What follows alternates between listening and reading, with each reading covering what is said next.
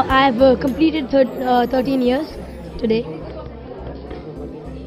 Uh, to become a great person, uh, a great uh, singer and actor, and I want to be better than any person in the world, and hope I can achieve it.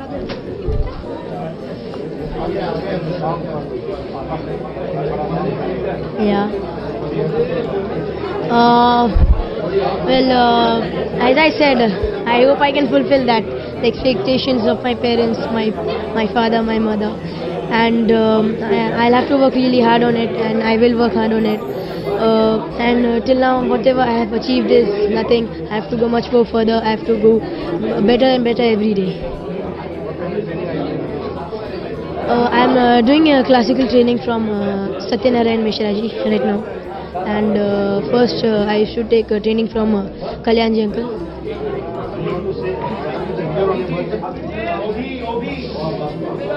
Um,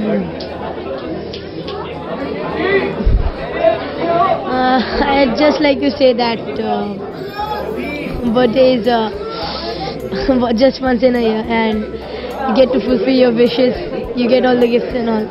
And uh, the gift I want from all of you is your love, and that's it. Thank you.